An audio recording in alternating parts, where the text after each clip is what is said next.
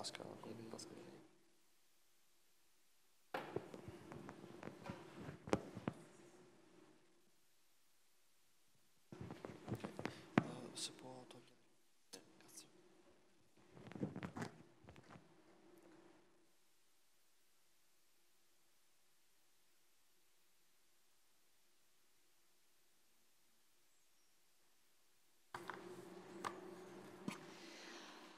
Well, welcome everyone. It's a pleasure for me to introduce Professor Fernando Villegas. Um, he will talk about Blet, a mathematical puzzle.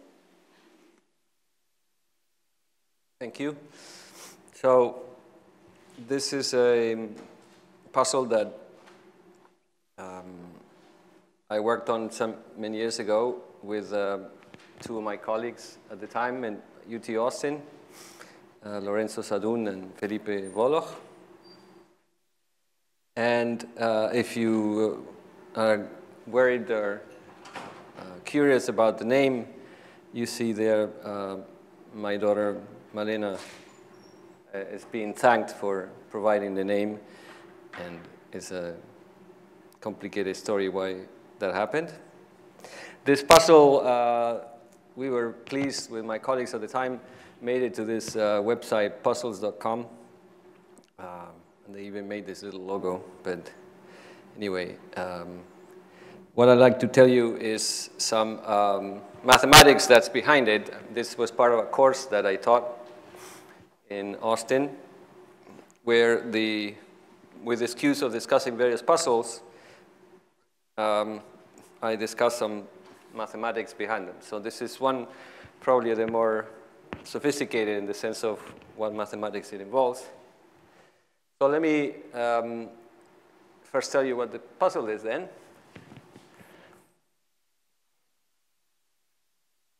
You start with um, a sequence of A, pairs A and B arranged in a circle. Say n is the number of A's and B's. Uh, going to be an even number. And um, this is the starting configuration. And there's uh, two rules that you can use. If you see a pattern of the form ABA, then you can change it to the pattern BAB. And conversely, if you see the pattern BAB, you can convert it to change it to the to the uh, to the A to ABA. And the so this is the allowable moves, and the goal is to maximize the number of A's or maximize the number of B's or maximize, minimize either one because it's, it's all very symmetrical. And there's a clear direction in which goes towards your goal. If you see a pattern of the form BAB, this has only one A, and if you change it by the pattern ABA, now you have two A's. So this direction is the, uh, is the greedy direction that um, will increase the number of A's. And uh, this puzzle I don't think or claim to be uh, particularly interesting in itself. I mean, and, and, I, and if the only interest it might have if you actually try it on your own a little bit and see what is behind it. But uh, unfortunately, then that would mean that I couldn't give the talk. So I'll spoil the little fun there might be and, and tell you what, what's behind it myself. But uh, it's an illustration of this uh, problem that uh, greed is not the answer, typically, because uh, if we have an implementation that I, I, I'm not sure I'll be able to show you right now, but so in implementation, just to illustrate, has n equals 28. So you, you click. So one way to think of this is that you can click on such a pattern on the B, and it converts it into this, or you click on this pattern on the A, and gets you the other one. So that's an implementation of this idea. And if you're greedy, you only get uh, the number of A's to go to, to 21. But in fact, um, the maximum possible is 23. So this, uh, let me just say a, a, little bit about the, the type of problem. Uh, okay, so first, first of all, I don't know if you if you've seen, um, you must have seen something like this. This is peg solitaire. And the, this is sort of a similar type idea. So you can say that these puzzles are all involve replacing a pattern by another one following specific rules. So if you think of uh, peg solitaire, is um, if you have this A's now correspond to two pegs in blue and B a blank, so you can move this peg over to the blank and uh, take this uh, blue one in the middle out. So it goes from B AAB to BBA. But this, in this puzzle, you only go in one direction. You can't go back. Once you do a move, you're done. You can't undo it. And, and here, the goal is also similar is to minimize the number of A's, which would be the number of blue pegs. And in this game, you can actually achieve one. And it's one of those things that I played this when I was a kid, about 10, and I managed to be able to solve it. And then later on, I got interested in this type of uh, connection between mathematics and puzzles, and I even had a book I mean, John Conway of Cambridge is famous uh, in many, many aspects, and one of them is, is interesting, this type of stuff. And uh, Suno His wrote a really nice book, which I refused to read until I could solve the puzzle again. And I just never could. So, I don't know. Um, progress, it doesn't seem to always go with age. So in any case, the issue here is we have a space of possibilities. Yes?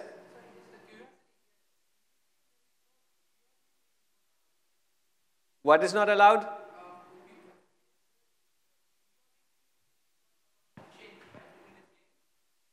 You, you can only change this pattern to this one or backwards? In the other, in the other game, um, you, you only, uh, if I understand correctly, you just do the puzzles the way the pegs the way I illustrated. Uh, if you have two blues with a space ahead, then you can move one peg over the other one and remove the one in the middle. That's all you can do. You can do it horizontally or, vertically. And the idea is that every time you do this, you have one less peg, and you have to keep doing this. And the goal is to get to just one peg at the end, which of course you cannot take because there's no other move possible. And if you try this, you quickly find out that to get to one peg is not completely trivial at all. So the, the general picture here is that we have some kind of space of configurations, uh, which is typically very big.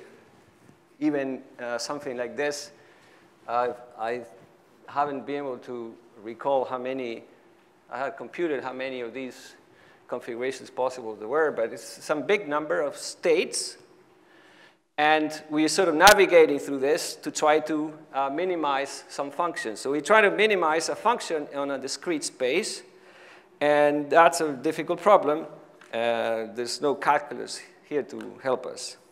So let me just say a little bit about uh, the question of minimizing discrete functions, which is uh, again, I view this as an excuse to, to discuss this topic. Um, and when I first started with this puzzle, uh, I used this method to try to understand what was happening before uh, we eventually found with my colleagues a solution. So this is, uh, in a sense, unusual. Typically, if you have a problem of this kind, there wouldn't necessarily be a, a way to actually solve it completely, which is what we have in this case, which in a sense is the topic of the talk. But let me take a parenthesis and discuss very, very uh, superficially this question of maximizing, or let's say minimizing, a discrete function. By, what, by that I mean I have a large discrete set and some function on that set that we want to find a minimum value of. So to just schematically, let's think of the x variables, which are um, the, the possibilities in our uh, space. I think of it just to do a graph as a one-dimensional thing, but you should think of this as a, some big space. And then we have a function which, uh, from the point of view of physics, would be energy, so call it E. And then the graph may look like this.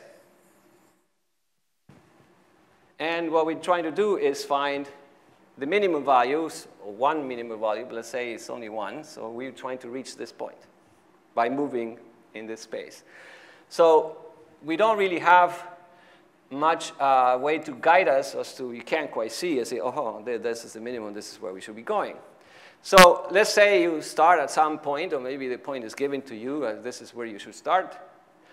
And so what you could do is uh, so schematically, let's think of the state that you're at, uh, x0 uh, here. Then you make some move towards a neighboring point, which you could do perhaps randomly.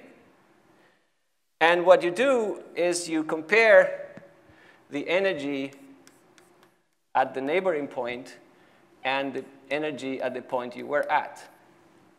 And if the energy at the neighboring point is smaller than the one you're at, then uh, you're happy because that's a better point, and so you take it. It's typical. This is one, up, one way to do it. And now the question becomes, what happens if you, if, um, say, if the, if the uh, point that you pick is actually worse? Well, if you are greedy, you always want to go down, and you will only take it in this case, and in this case, you just don't take it and try a new one. So what happens with that idea of greedy is that, for example, if you start here and you keep moving, then uh, you're going to get stuck at this point. So greedy uh, may result in uh, stuck at local minima.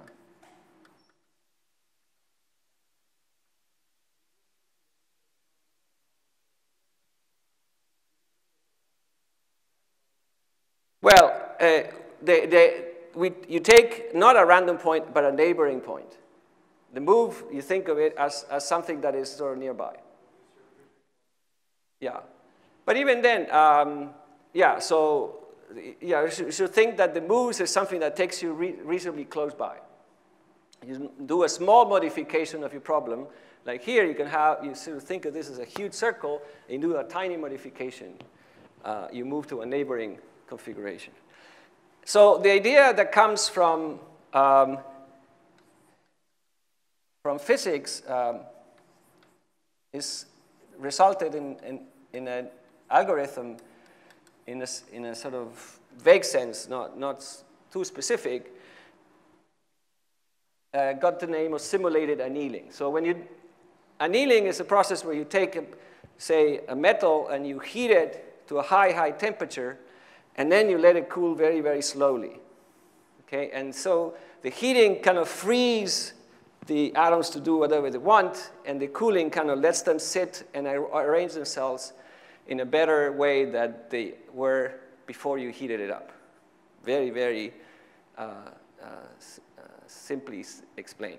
So you do something similar here, and the idea is, okay, we take it if we, if we are, have an advantage, But if we have a disadvantage that looks like this is a bad thing to be doing, you take it with a certain probability. So in a certain sense, you flip a coin and you say, okay, look, this looks like a bad move, but I'll take it anyway. And so if you're stuck at this local minima, then if you allow yourself to take some steps in the sort of wrong direction, maybe you will climb out of the local minimum and fall in to the next one. And so this is a very uh, basic um, idea that uh, resulted in very useful, very uh, interesting algorithms to minimize uh, discrete functions. So as I said, this is a, a tangent.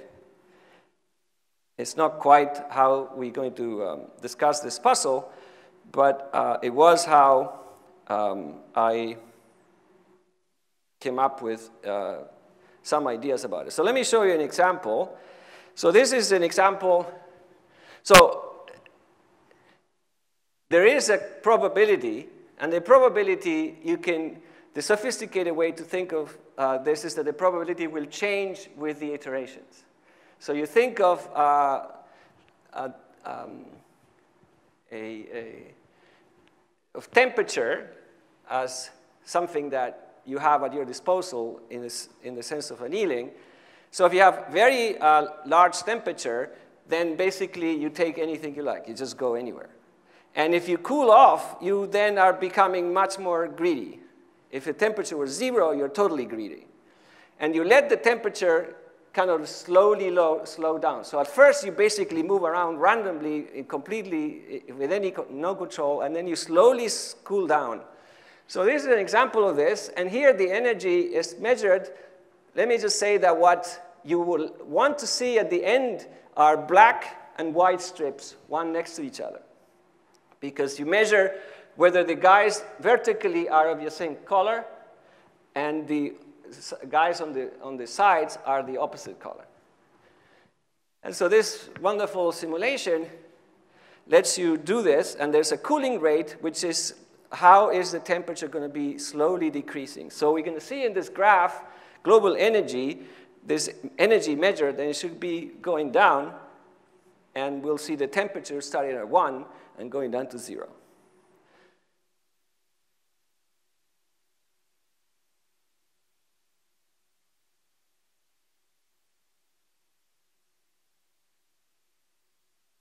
Okay, well, we didn't quite get white black, white, black strips.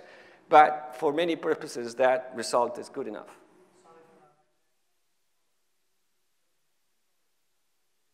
No, there's a probability involved in the temperature. So the temperature, there's a cooling rate here. Uh, let me see. The, this is a cooling rate, tells you how the temperature is going to change, and here's the temperature. We start at temperature 1.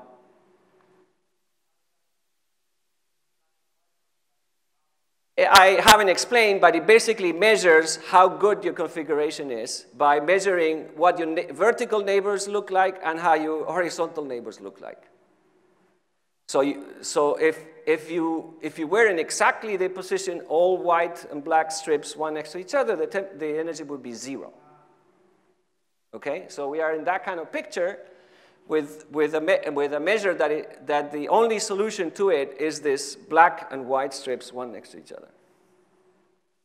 Okay, so um, is, I, I, don't know exactly. I, I don't want to get too much into it, but some, some sort of switching of, of the colors of the neighbors. Some particular um, uh, exchange of, of white and black. Yeah, the, the radius is, is how, how around it are you supposed to. I think it's just a swap of, of black and white neighbors, precise neighbors. I just wanted to show you the picture. I don't want to get too much into the specifics of this example. But anyway, let's write it again. So this clearly doesn't look like white and black strips. So we don't, we don't like this. Um, and what looks like a reasonably small amount of iterations, it, it produces something that at least you probably can live with. Okay? And you see how the energy has uh, gone down to uh, what looks like it's not going to come down from that anymore. Yeah.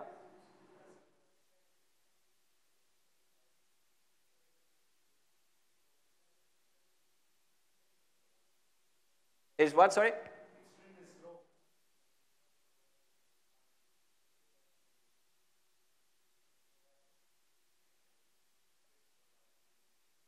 Yeah, I mean, I, the talk is not about the system. It's just I wanted to just uh, use it as an excuse to bring this up. And uh, hopefully it will entice you to, to explore it on your own. I mean, you probably can teach it, but others may have never seen it before. Um, so it's just that uh, I want to put the, the puzzle itself in, the, in a context. Uh, but what we're going to do now is something that um, sort of appeals, at least to me, um, mathematician of wanting uh, precise um, uh, answers, that in this particular instance that I'm erasing, we have a way to understand this minimum uh, quite precisely. And that's really the topic of, of the talk. So what I'm going to do then is um, and try to understand this maximization problem in, in this Blet puzzle uh, by relating the, the, the, the question to something else. So we started with this cycle of A's and B's. But le let me sort of cut it out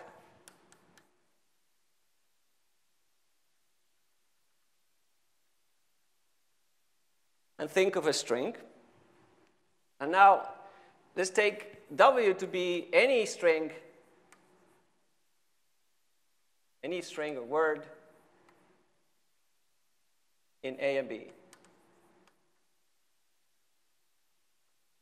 And I will associate to this a certain path in the plane.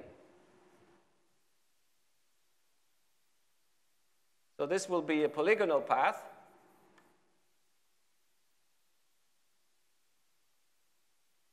In z squared in the lattice. And this also somehow has to do with physics, and it was suggested to me by uh, Harald Skarke. and so what I'm going to do is describe the motion by this. These A's and B's are going to be instructions for something to move in the plane. A think of a particle moving in the plane. And there'll be two variables. And perversely, the physicists call Q the position, which I'll try to remember to use the right letters, and P the momentum.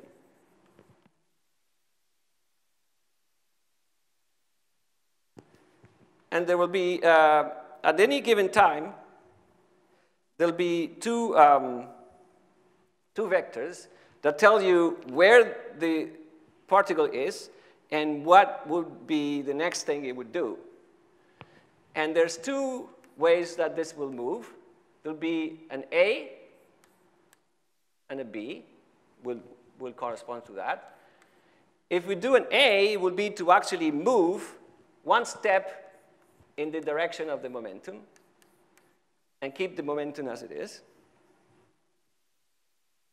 And a B will be keep the position as it is, and change the momentum. I already messed this up.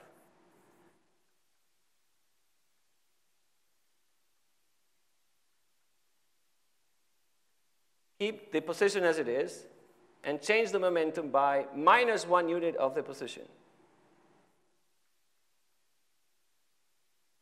Okay? And so here's an implementation of this idea uh, I will start, my initial state would be that I start at the vector uh, 1, 0. I think I'll use uh, row vectors. So it's 1, 0. And the momentum is 0, 1.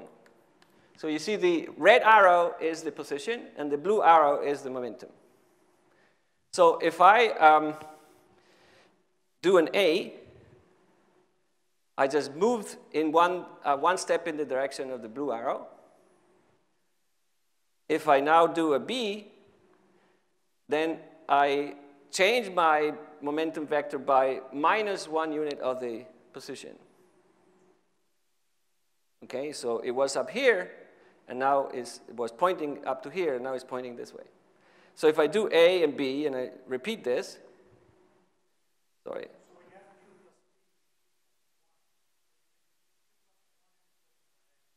No, these are vectors. I have two vectors at every time, two, two, two-dimensional vectors. And my moves are, um, for A, I change the red vector by, one, by adding one blue vector. And in this case, I change the blue vector by subtracting one red vector. Well, they keep moving. I start here, and they'll be whatever they are. We'll, we'll explore and see what, what happens. So let me do um, A and B, and I'll iterate it.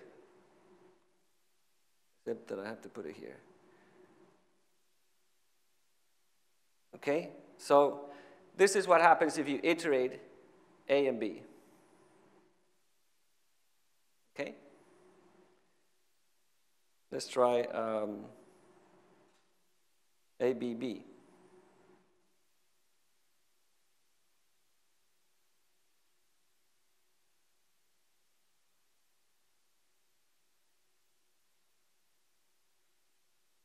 Um, let's see, I think maybe AAB.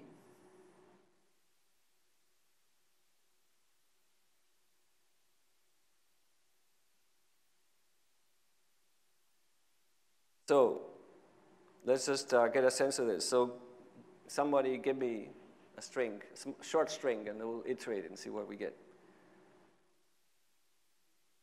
A, A, A. Well,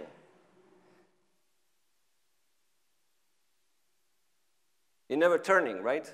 You have to use a B. B is changing the velocity. So if you never turn, this will just keep going up.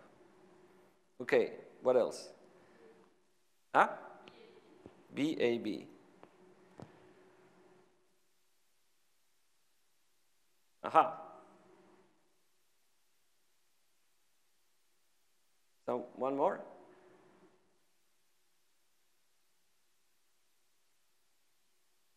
Come on. Eh? AABB. That's, uh, yeah, AABB.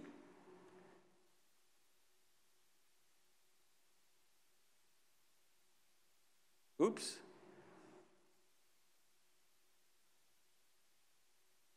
So it's not always the case that this thing closes up. Yeah? Okay. I might come back to this. So then associated to a um, sequence, a word in A and B, we have a path in the plane. So what uh, we could do, so to keep track of what's happening, we let the matrix MK be the matrix where these are the rows. We start with M0 as the initial state as the identity matrix. And then doing A is nothing but multiplying by the matrix 1, 1, 0, 1, and doing B multiplying by the matrix 1, 0, minus 1, 1. So we can call these the, the state matrices.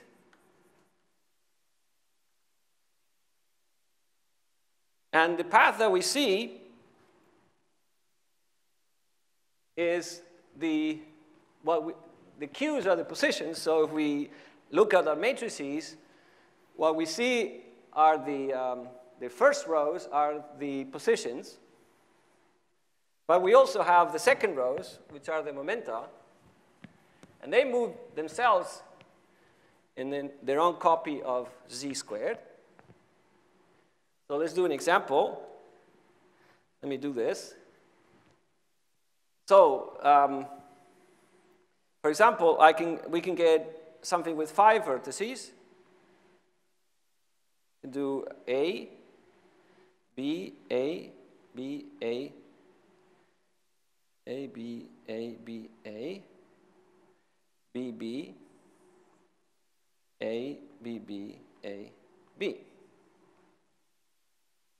Okay? So,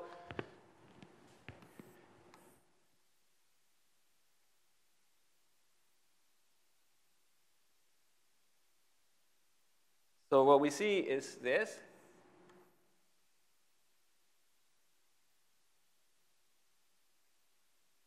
So these are what we're seeing here, the dots here correspond to the q vectors, the positions. But there's a corresponding picture for the p's. And the p's uh, we can uh, read off by looking at the tangents. So um, if I start here, I mean, there's some ambiguity where I start, but say, uh, let, us say we start here. So the first vector is uh, 1, 0, or actually may, may start the same place. So we, the first vector is vertical, so I have a 1, a 0, 1 there. Then it's horizontal to the left, and you keep um, following this, and you see that this is the path that the p's do. So this is some path gamma, and this is some path we can call the dual. And they both come from projecting this path of matrices to the first row and the second row. Okay? And the key observation, first key observation that will allow us to understand this minimum on this game is to notice the following. If we look at the length of this path, by which I mean how many dots there are on the path, five, and I look at the length of the dual, there's seven, and 7 plus 5 is 12. And uh, one of the theorems of method theories of mathematics is that all the 12s are the same. And in fact, any path they do will have the same statement. So any path that you construct out of following these rules will produce a dual path that has a number of uh, dots in it, which is complementary to 12 from the one you start. So what's this, what is the smallest path you can do?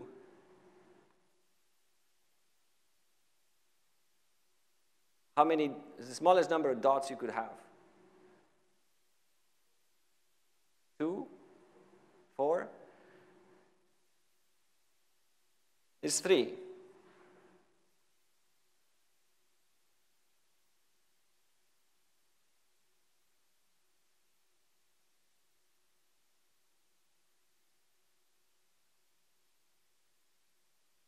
Yeah? And the dual of this will have 9, which is the biggest you can have. So the dual will be,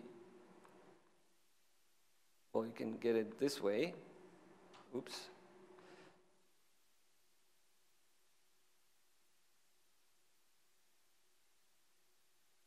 already messed up and tried on time.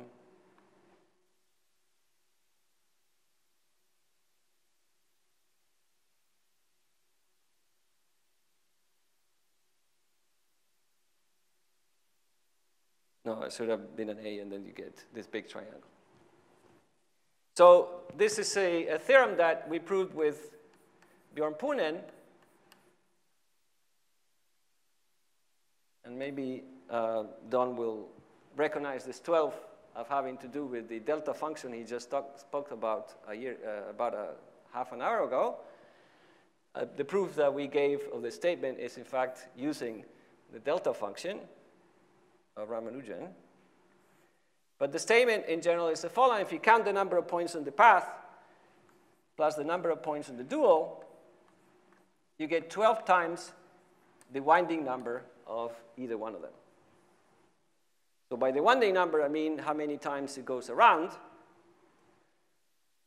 which could be um, any, any integer. We, we're moving always counterclockwise. So what this amounts to is, uh, so what we see here, so let me maybe to write this pentagon again. Um, so A, B, A, B, A, B, B, A, B, B, A, B. Yeah?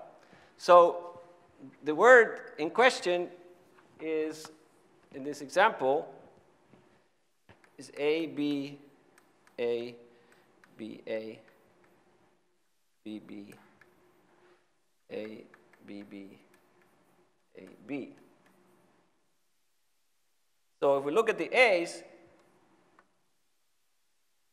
those are exactly, the five of them, that's exactly the number of dots on the path gamma. And the number of B's is seven, is the number of points on the dual Because every time you do an A, you change your position, and that creates one more dot in your path. And on, on the B side, if you um, use a B, you're creating, you're changing the momentum exactly by adding one more point. And so what this says is if you want something that closes around only once, you'll, you'll have to use 12 letters. And so it's a theorem of uh, Scott. So what other properties, I mean, what kind of uh, properties does these paths that we see? They're not completely random things that we're seeing. So how would you characterize what these paths are that I get by playing this game, uh, this particular game, this A and B story? If they close. Say they close once. Hmm? What about the area?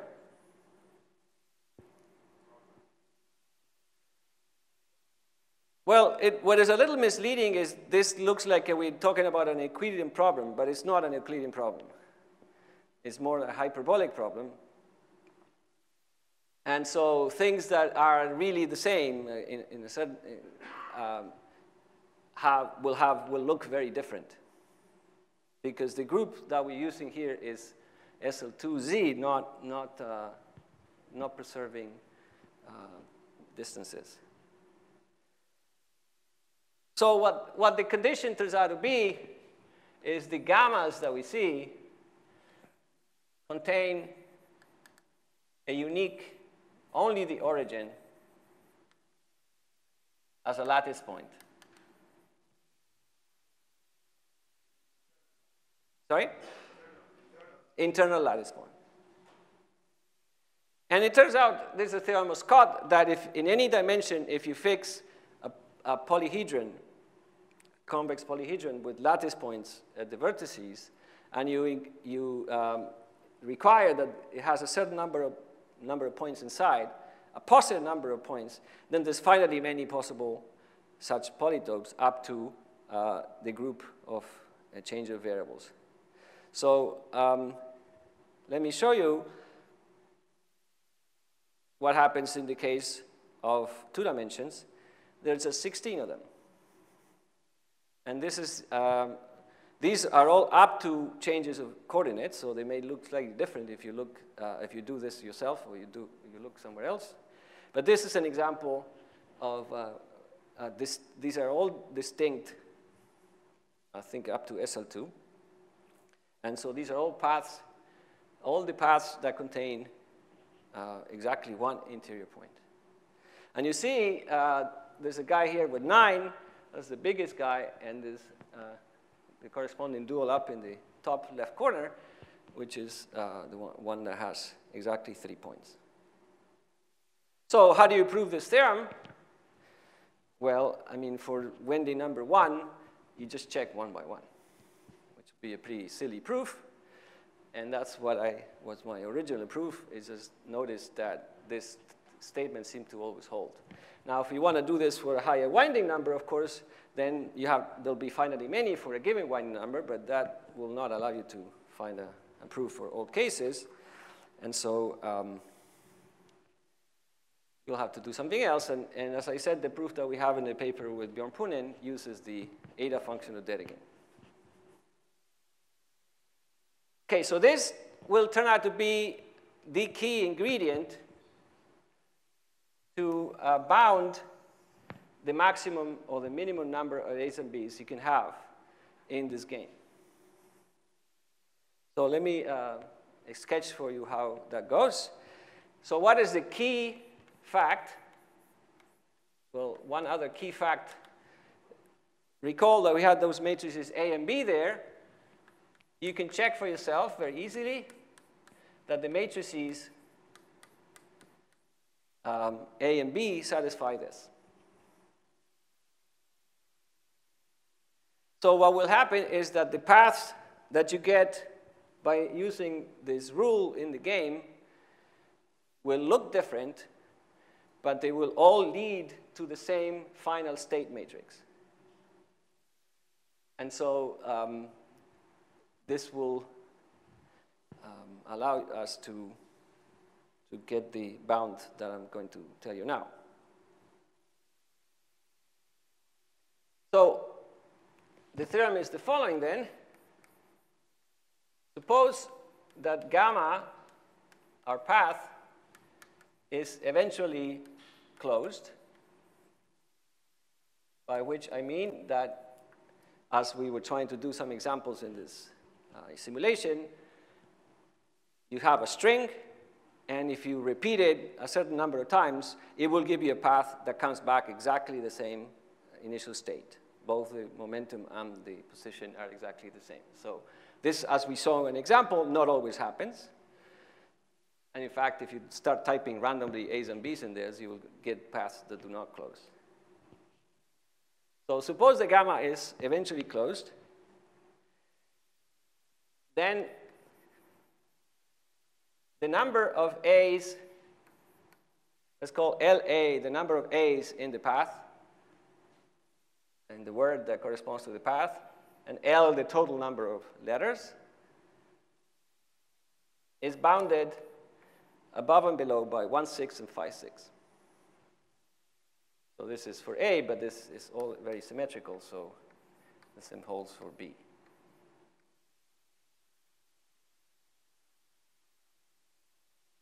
So this will put a limit on the possible number of A's that you can have. Because the path that we have in our game is a path that is uh, eventually closed. So note, AB, AB, n times is eventually closed.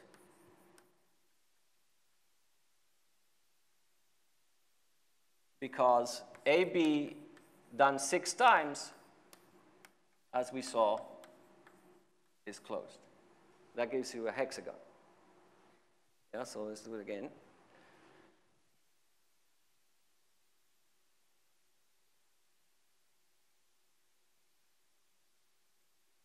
So we do um, A, B, well, let's iterate this uh, six times.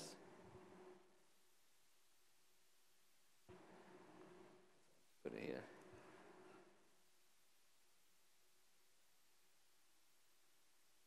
Okay, so the pair AB repeated six times is closed. So the pair AB is eventually closed. And so the pair AB to the n, or the n over 2, uh, rather, if I do this six times, this is the same as AB to the 6 n over 2 times, and AB to the 6 is closed. So the path that we're talking about is closed, uh, is eventually closed. So it, it will, this statement will apply, and it limits how many A's or B's you can have. Because um, any modification by the rule of the game, as I said, will change the path itself, but it won't change the fact that it is eventually closed. Because the endpoint remains the same. Okay, so let's, let's see how we uh, can prove that. Uh, I'll, I'll come back to that. Let me, let me first prove this. Well, the final state matrix. A word is a, series of instructions, so if you follow all of them, there's a final state. Yeah?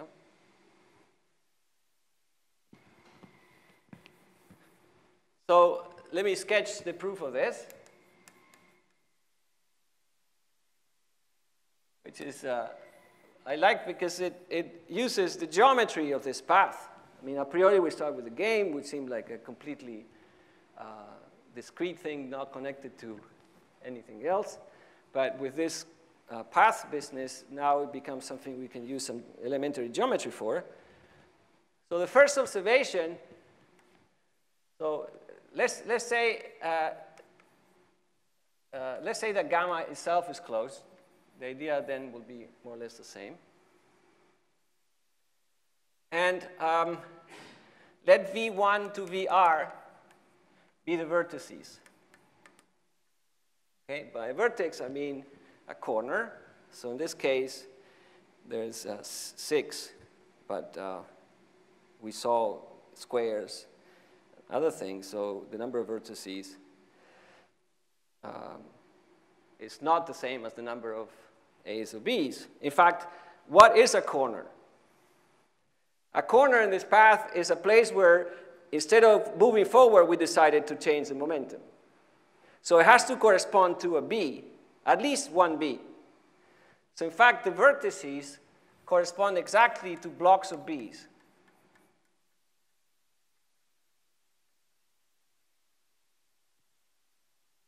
Okay. And now let's look at the vertex. So we're coming in from here, coming out there.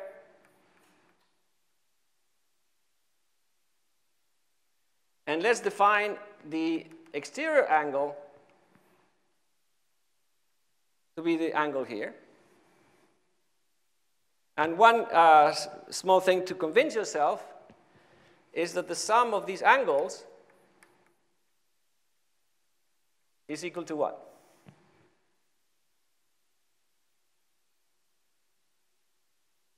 Well, if we went around one time, it would be 2 pi. If we went twice, it would be 2 pi times 2, and so on. It's 2 pi, uh, 2 pi times the winding number.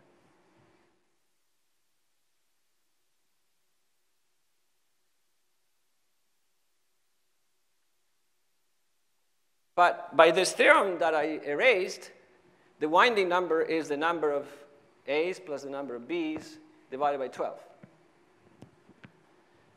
So that means that this is pi times the length over 6.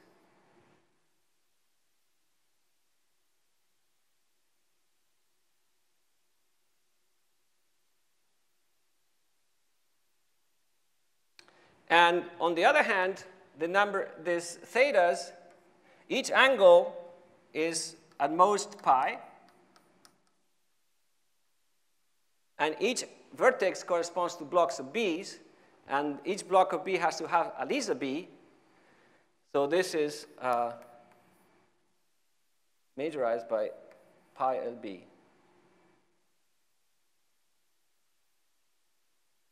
So we get that um,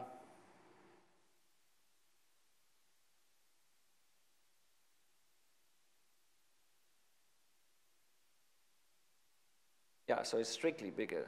So we get that LB over L is bigger than 1 6. And now we do this symmetrically with, this, with the A's, and you get that is less than 5 6. So it's a, just a quick idea. But, but the key thing is to use the geometry of this path to understand how many possible uh, B's in this uh, setting there can be, because the B's correspond to vertices, and vertices uh, are where you turn, and so there's an angle involved, and there's a limitation for those angles. anyway, I understand it's quicker than it could have been, but I want to get to, to the final point. So what I was saying before about being eventually closed is that, um, so let me use a little notation. So we have a word consisting of uh, A's and B's. So a word in, in uh, A, A and B. And we can, uh, let me define rho of W to be the uh, state matrix at the end. So if I were to do it in that thing, I will look at the string and click as many times as these letters indicate, and at the end I'll be somewhere with some red vector, some blue vector. That's my state matrix M. Eh. Excuse me? Yes, that's what I do. Yes, and then take the product. Yeah, indeed, yeah. Mm -hmm. I just look at the string and now replace, as Don says, the letters by the matrices, and that's take the product of all of those, and that's M, indeed. And so the point is that the, this thing is the identity, and there's a little bit of work to do, but uh, I think I'll skip it, that if you modify, so let's say W prime is a modification of W by the games rule, then if one of them uh, is eventually closed, then so is the other. So in the initial word W consists of A, B, A, B, A, B, that's eventually closed, and so the theorem applies.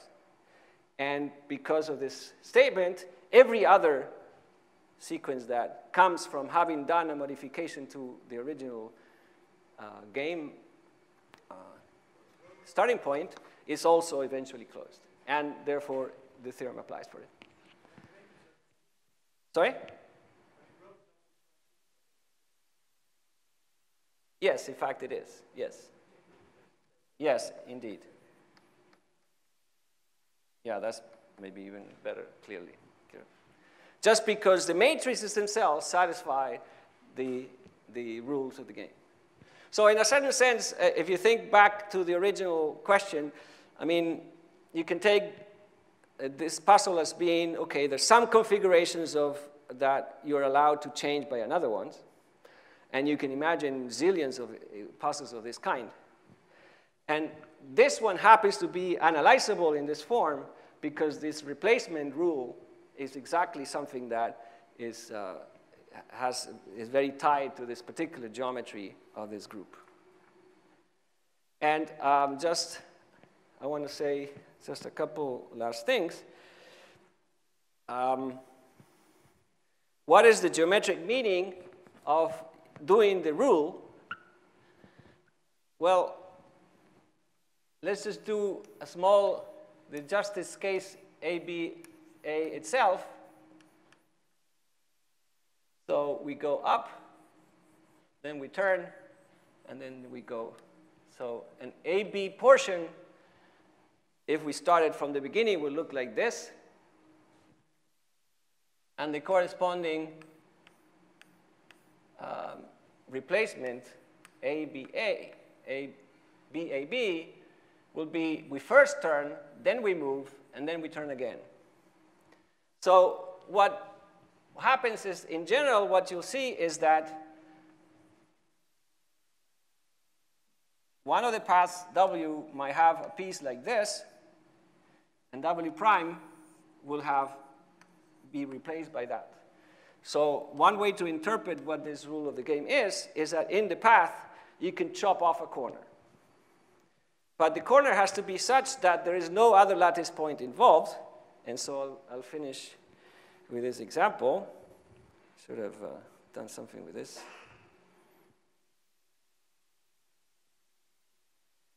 So, um, let's do A, B, B, A, B, B, B, A, B, A, B, A. So here's a, an example. And um, if we look just at the, at the path, there's only one corner we can chop off, which is down here. Every other corner will necessarily have, it either goes through the middle or something's wrong. Yeah, that's all there is. The, the, there's no other corner we can chop off without sort of including one extra lattice point. And if we look at the, at this, uh, at the string here, there's only one string ABA that we can actually change to the BAB, which is right here at the bottom. So, no, there should be only one, is it? Where? Second last. No, this one you cannot join to that one. To, no, but that's just a segment. No, I think, I think there's only one. So let me uh, do this. Let me uh, replace the ABA by BAB. Now run it again. And we get the same thing with the corner chopped off. So if you look at these pictures, what this, the greedy algorithm will be to always chop corners off. What we would like to do is to get this to be as small as possible. And what we found, well, maybe in, in the case of only one turn, there's so few things that you don't really see it, but if you have more, you will not be able to chop it off to the smallest possible way by just always chopping in corners. Sometimes you have to add a corner, which would be the inverse of this, uh, and to, to cut a corner somewhere else. So um, yeah, so this was uh, this puzzle that I wanted to discuss, uh, which I kind of think of it as a puzzle with a moral. Greed doesn't always. You should not have? You should not cut corners, good point. But, or you should cut the good corners. And uh, greed uh, may not always lead you to what you want. So, thank you.